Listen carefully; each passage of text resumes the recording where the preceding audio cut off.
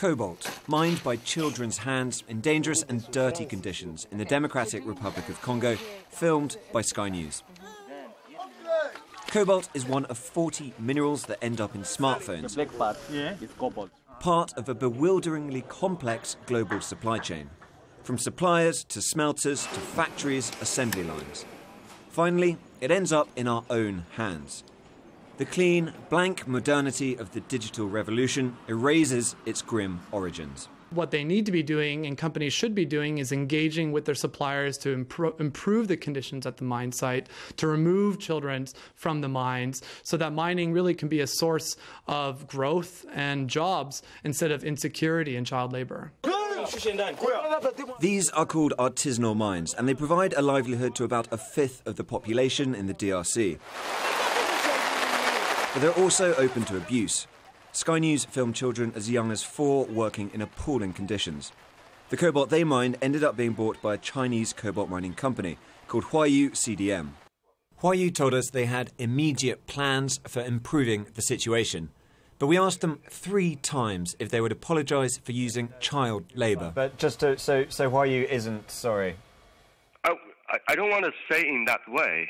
You understand? We are proud of our our, our work in DRC, and uh, the, the, local guys also uh, have, we have a very good reputation. And also, uh, Sky News, you are more than welcome to tell us what we should do to help to improve this situation. Cobalt is mainly used for batteries in smartphones, laptops, and electric cars. Some of Huayou's cobalt went to third party battery makers. Their batteries ended up in Apple's products. Apple told me they've now instructed Huayou to stop sourcing cobalt from artisanal mines until they can be verified. They also said, Apple is deeply committed to the responsible sourcing of materials for our products, and we've led the industry in establishing the strictest standards for our suppliers. We were the first company to map our cobalt supply chain down to the mine, and 100% of our smelters are participating in independent third party audits. The company has also launched initiatives on the ground with NGOs like PACT, more than a lot of tech and auto companies bother with. Most just rely on questionnaires and surveys filled out by their own suppliers. Tesla, BMW, Renault, Samsung, and Dell all told us that, as far as they knew, no cobalt from Huayou entered their supply chains. The average smartphone has around 10 grams of cobalt. Let's call that a teaspoon's worth. Now, laptop batteries have more, around three times as much. 30 grams.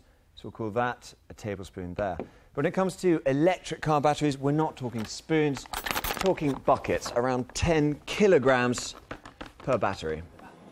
That means a lot more cobalt mined as more electric cars are sold.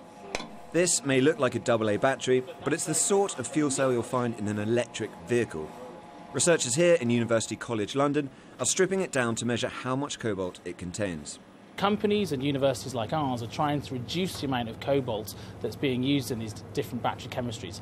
But in the near future, we can expect there's going to be a significant amount of cobalt demand to service the lithium ion battery market as it continues to grow with the growth of the electric vehicle market.